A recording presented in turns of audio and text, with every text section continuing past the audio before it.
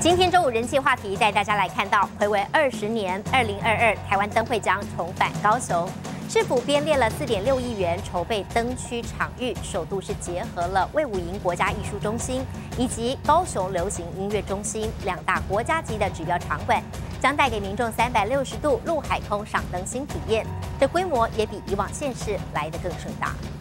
热气球缓缓升空，伴随着璀璨灯光，照亮整个爱河湾。二零二二年台湾灯会将重返高雄，市政府也在上个月抢先试灯。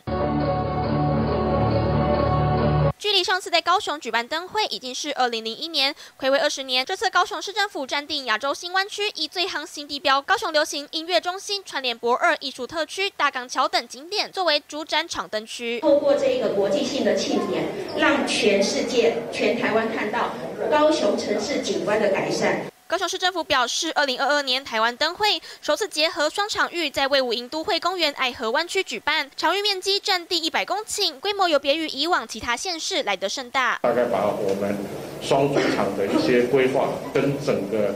啊活动的设计，包括整个主视觉的意向等等，都已经啊做了啊相关的一个妥善的一个规划。二零零一年高雄灯会主灯鳌月龙翔，至今仍然矗立在爱河河畔。这次灯会重返高雄，除了带来观光，更希望让大家看见城市发展转变。记者陈轩、张崇敏高雄采访报道。